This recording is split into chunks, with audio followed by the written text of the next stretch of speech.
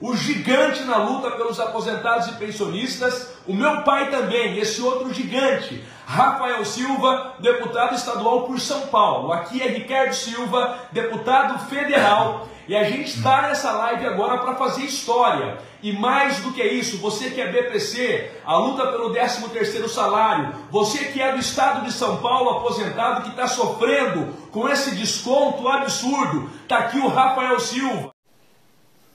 Olá pessoal, boa noite.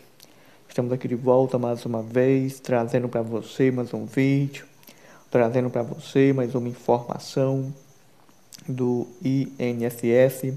E se você ainda não é inscrito aqui no canal, clica aqui abaixo, se inscreva, deixa o seu like, deixa o seu comentário e se puder também compartilha aí o nosso vídeo. E vamos para a informação que diz assim: 13 terceiro salário do INSS ainda vai pagar a parcela em 2022? Confira quem vai receber. Você sabia? O INSS ainda vai pagar um 13º salário em 2022. Veja quem pode receber a parcela única do 13º salário do INSS. O benefício será pago para aposentados e pensionistas de um grupo específico. O 13º salário do INSS trata-se de um benefício pago ao fim do ano, também conhecido como abono natalino do INSS com o objetivo de ajudar os aposentados e pensionistas ao fim do ano. Entretanto, nos anos recentes de 2020, 2021 e 2022, o 13º salário do INSS foi antecipado, pago em duas parcelas até o meio do ano, que somadas resultam no valor total do 13º salário.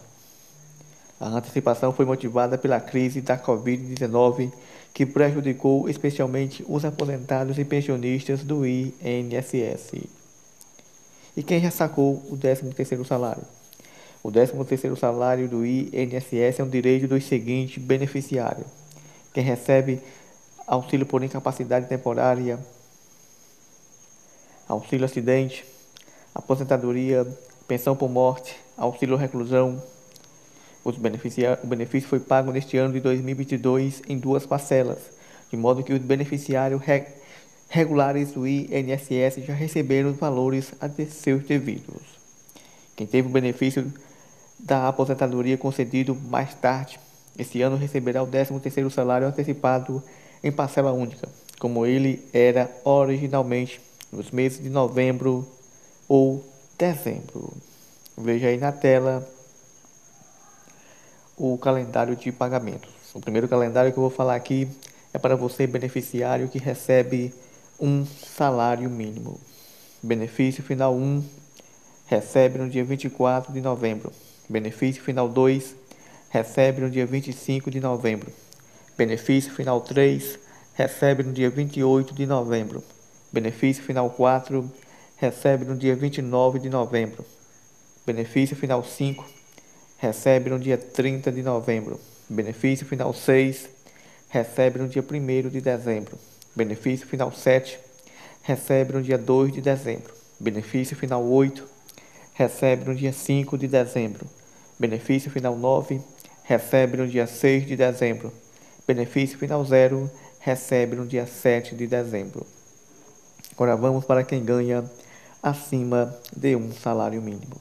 Benefício final 1 e o final 6 recebe no dia 1 de dezembro.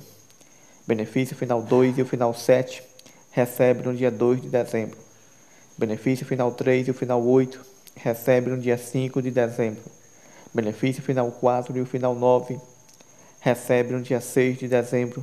E o benefício final 5 e o final 0 recebe no dia 7 de dezembro.